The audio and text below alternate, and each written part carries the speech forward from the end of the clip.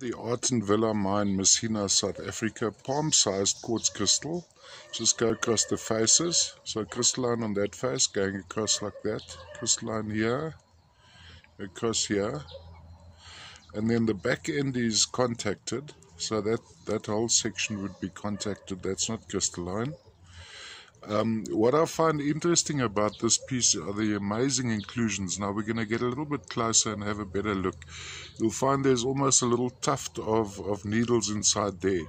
Now what we're always looking for is the elusive ajoite and papagoites. Now what happens, uh, is sort of a turquoise color. Let's just see if we can get a little bit closer in there. Have a look at those lovely inclusions. And this one has the, this is from the section where you had the so-called planet quartz. So you have almost little circular formations trapped inside the quartz crystals. Um, just zoom in on that.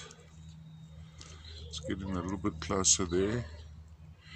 This lighting isn't actually ideal, but it gives a pretty good indication of the. It, of course, it's overexposing a little bit on the edges. There you see those little circles, which I suspect are kaolin clay. And of course, quite typically, you have hematite trapped inside the quartz crystal. Size-wise, almost a palm size, so substantial size.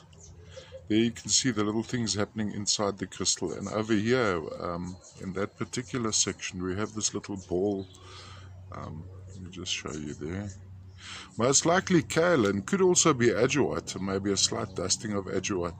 All the way from the Artonvilla mine, Messina, South Africa, and uh, a little bit contacted this particular piece. Substantial size, and here you can actually see lovely inclusions in the sky. Look at those almost cloud-like formations inside the quartz crystal.